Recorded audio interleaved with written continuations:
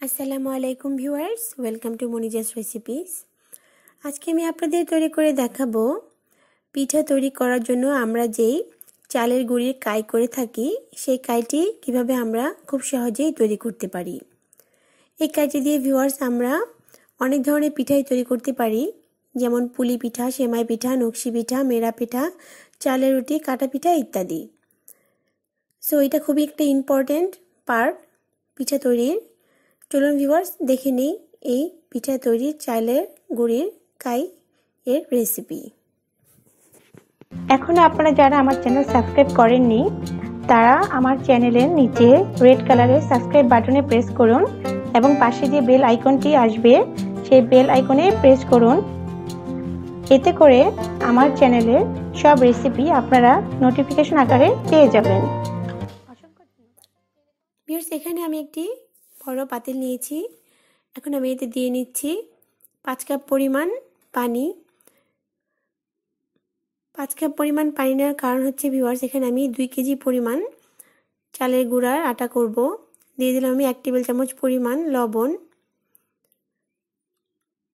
এটা আমি আতপ চালের গুঁড়ি নিয়েছি ভিউয়ার্স এখানে দুই কেজি পরিমাণ। এর জন্য আমি পাঁচ কাপ পানি নিয়েছি। আপনারা যদি এক কেজি পরিমাণ ইউজ করেন, তাহলে আড়াই কাপ পানি ইউজ করতে হবে।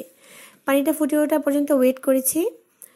ফুটে উঠেছে ভিওয়ার্স অবশ্যই পানিটা ফুটে ওঠার পরে চালের গুঁড়োটা দিতে হবে। এখন আমি চালের গুঁড়োটা দিয়ে দিচ্ছি।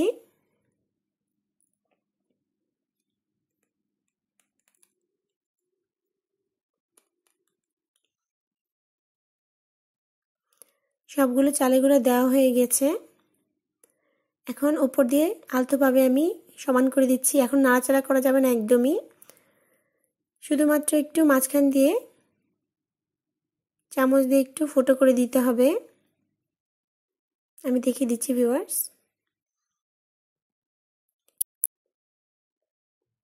এখনই আমি চামচ দিয়ে একটু ফুটো করে দিব। এটার কারণ হচ্ছে ভিউয়ার যদি আপনারা এরকম করে একটু ফুটো করে না দেন, তাহলে কিন্তু অনেক সময় দেখা যাবে ভাবটা বের হতে পারবে না, ছিটে যাবে নাকে মুখে। এই জন্য একটু দুই, তিন দিক দিয়ে একটু ফুটো করে দিতে হবে। আমি এখানে কয়েক দিক দিয়ে একটু করে ফুটো করে দিয়েছি, দেখুন ভিউয়ার্স কিন্তু আর নাড়াচাড়া করা যাবে না। এখন আমি এটাকে ঢেকে রান্না করব পনেরো থেকে বিশ মিনিট। বিশ মিনিট পর ফিরে আসছি। বিশ মিনিট হয়ে গেছে ভিউয়ার্স আমার চালের গুঁড়োটা মোটামুটি সিদ্ধ হয়ে এসেছে। এবার একটু নেড়ে চেড়ে দিচ্ছি।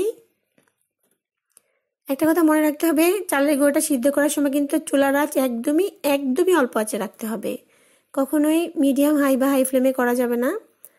দেখুন, আমার চালের গুঁড়োটা সিদ্ধ হয়ে গেছে। এভাবে একটু হাত দিয়ে চেপে দিয়ে যদি দেখেন যে একটু আঠা আঠা হয়ে এসেছে, তখনই বুঝতে হবে চালের গুঁড়োটা হয়ে এসেছে। এখন এটাকে আমি নামিয়ে নিচ্ছি। গরম গরম অবস্থায় কিন্তু চালের গুঁড়োটা মথে নিতে হবে। একদম ঠান্ডা করা যাবে না। অল্প অল্প করে নিয়ে আপনারা যে কোনো একটা বড় পাত্রে বা ডিশে এভাবে মথে নেবেন। আমি যেভাবে করছি আমি এখানে বাটিতে ঠান্ডা পানি নিয়ে নিয়েছি পরিমাণ মতো। আমি অল্প অল্প ঠান্ডা পানি নিয়ে এটাকে ভালোভাবে মথে নেব। তাহলে চালের আটাটা অনেক ভালো হবে। আর যদি বেশি ঠান্ডা করে ফেলেন ভিওয়ার্স তখন কিন্তু দেখা যাবে যে চালের গুঁড়োটার ভিতরে দানা দানা থেকে যাবে। সো, একটু গরম গরমই এটা করতে হবে। আর এই ঠান্ডা পানি দিয়ে মতলে কোনো প্রবলেম হবে না বরং আরও সুন্দর হবে চালের আটাটা। আমি একটা অল্প একটু করে দেখিয়ে দিচ্ছি আপনি এভাবে করে নেবেন। পুরোটা একবারে করতে যাবে না, তাহলে কিন্তু ভালো হবে না। অল্প অল্প করে করতে হবে। হয়ে গেছে। এভাবেই করে নেবেন। এখন আমি বাকিগুলো এভাবে করে নেব। ভিউর্স এখানে আমার দুই কেজি আটায় অনেকটুকুই হয়েছে। এভাবে আমি করে নিয়েছি। অল্প অল্প করে আপনারা এভাবে করে নেবেন।